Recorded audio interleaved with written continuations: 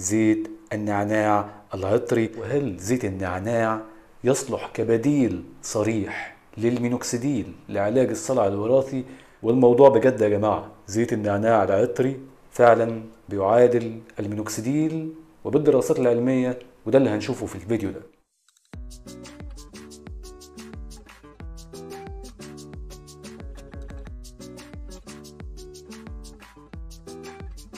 السلام عليكم ورحمة الله وبركاته. أتمنى يا جماعة تكونوا بخير وشعركم بألف صحة وألف خير. زيت النعناع يا جماعة في منه أكتر من شكل وأكتر من نوع وأكتر من ماركة. في عندنا زيت النعناع العطري اللي هو زي اللي أنا جايبه ده. ده بيكون من أقوى أنواع زيت النعناع ولكن ليه طريقة معينة في استخدامه هنشرحها في الفيديو فركزوا معانا. النوع التاني من زيت النعناع وهو زيت النعناع الطبيعي الكولد بريسد أو المعصور على البارد. تبقى أزازة زيت نعناع كبيرة وضخمة ممكن توصل لمثلا 60 مللي و100 مللي. عكس الزيت العطري اللي بتكون في الغالب أزايز حجمها صغير بالمنظر ده وبيكون فيها حاجة زي قطارة داخلية برضو بالمنظر ده. طيب نستخدم إيه؟ هل الاتنين كويسين لعلاج الصلع الوراثي والإنبات الشعر سواء شعر الراس أو شعر اللحية؟ هل الاتنين درجة فاعليتهم واحدة؟ لا. الفكرة يا جماعة زيت النعناع العطري أقوى وأكثر فاعلية لاحتوائه على نسبة كبيرة من المواد الفعالة على رأسهم مادة المنتول. مادة بتساعد على زيادة الدورة الدموية في فروة الرأس أو برضه في اللحية لو بنستخدمه للحية. نيجي لزيت النعناع العطري وهو الصيغة الأقوى من زيت النعناع. بيبقى مكتوب عليه بيور اسينشال اويل أو زيت عطري نقي 100% زيت النعناع العطري لا يستخدم بشكل مباشر لا على فروة الراس ولا على شعر اللحية لإنبات شعر اللحية. زيت النعناع العطري هو تاني أقوى زيت من حيث الحدة أو من حيث درجة الحرارة. زيت حامي جدا. يعني الزيت رقم واحد هو زيت القرنفل. اللي يجي من بعديه زيت النعناع العطري.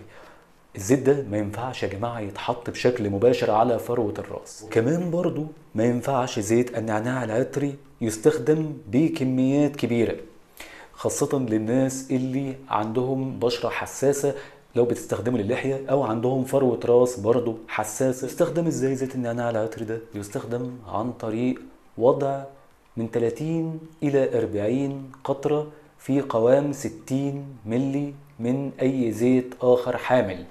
أفضل الزيوت الحاملة اللي بيستخدم معاها لو إحنا شعرنا جاف ممكن نستخدم حاجة زي زيت جوز الهند. لكن لو إحنا شعرنا دهني أو شديد الدهنية يفضل استخدام زيت أخف شوية زي زيت اللوز الحلو أو زيت الجوجوبا بالنسبة بقى للناس اللي عايزة تنبت وتكثف شعر اللحية هتخلطوا منه 40 قطرة أو هتحطوا من الإزازة دي 40 قطرة على مقدار من 50 إلى 60 ملي من زيت الجوجوبا بالنسبة لزيت النعناع العطري لو هنستخدمه على الشعر خلطناه مثلا بزيت اللوز الحلو. هنعمل هنستخدمه إزاي؟ بيستخدم عن طريق قطارة أو دروبر بنستخدم منه من 10 إلى 15 قطرة على كامل فروة الراس مع التدليك ويترك على فروة الراس لمدة ساعة إلى ساعتين. بعد كده يغسل بالشامبو. هنكرر الخلطة دي مرتين أسبوعيا أو ثلاثة لو إحنا بنغسل شعرنا هي بتتوقف على إحنا بنغسل شعرنا كم مرة في الأسبوع. لو حد بيغسل شعره مرتين بالشامبو مرتين في الأسبوع يبقى يستخدم الخلطة دي مرتين في الأسبوع. لو بيستخدم الشامبو ثلاث مرات يبقى يستخدم الخلطة ثلاث مرات في الأسبوع. النوع الثاني من زيت النعناع وهو زيت النعناع. الطبيعي الغير عطري. في نوع زيت نعناع تاني موجود غير عطري. هل الزيت ده سيء؟ لا هو مش سيء ولا حاجة وكويس برضه وممكن الاستعانة فيه للناس اللي عندها تساقط شعر مثلا أو تساقط شعر كربي أو للناس برضو اللي ممكن تستخدمه للحية بيبقى كويس. ولكن للحية أنا بفضل أكتر زيت النعناع العطري. ولكن اللي مش لاقي العطري ممكن يستخدم زيت النعناع العادي برضو ما فيش مشكلة. زيت كويس جدا. ممتاز جدا ولكنه فاعليته أقل شوية. فاللي مش لاقي زيت النعناع العطري ممكن يلجأ إلى زيت النعناع العادي. هل زيت النعناع العطري فعلا بيعادل المينوكسيديل كما يقال عليه في إنبات الشعر وعلاج الصلع الوراثي؟ بصوا يا جماعة لكي أكون صادق 100% معاكم في دراسة اتعملت على زيت النعناع العطري وقارنته بالمينوكسيديل. ولكن المقارنة دي كان المينوكسيديل 3% يعني هم جابوا مينوكسيديل تركيز 3% وقارنوه بزيت النعناع العطري. زيت النعناع العطري تفوق على المينوكسيديل ال 3% ده في تحفيز نمو الشعر وإنبات الشعر.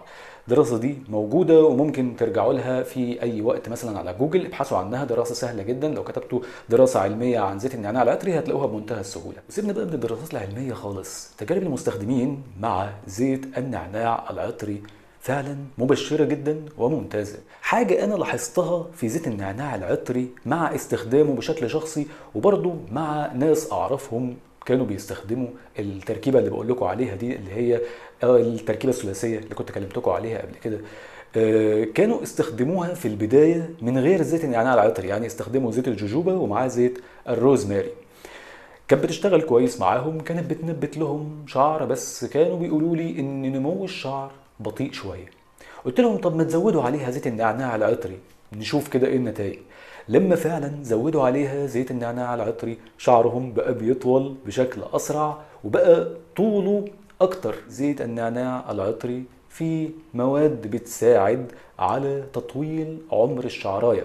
بتطول حاجة اسمها الأناجين فيز أو مرحلة نمو الشعراية. بدل مثلا ما الشعراية تبقى عمرها سنتين وليكن لا بتطول عمرها تخليها توصل إلى خمس وست سنين فبالتالي الشعراية تطول أكتر. يعني العطر ده نجيبه منين يا جماعة؟ نجيبه من على موقع امازون فيه كتير جدا من الشركات. سواء المحلية هنا في مصر أو برضو المحلية في دول عربية كتير زي المغرب والجزائر والسعودية وفي في الكويت برضو وفي في الإمارات شركات محلية بتبيع زيت نعناع عطري. جودته ممتازة جدا. خشوا على أمازون اكتبوا زيت نعناع عطري هتلاقوا أنواع كتير جدا ممتازة. شوفوا إيه النوع اللي عليه ريفيو كويسة والناس بتتكلم عنه كلام كويس وممكن تجيبوه. ميزة جميلة برضو في زيت النعناع العطري إن ممكن إضافته للشامبو.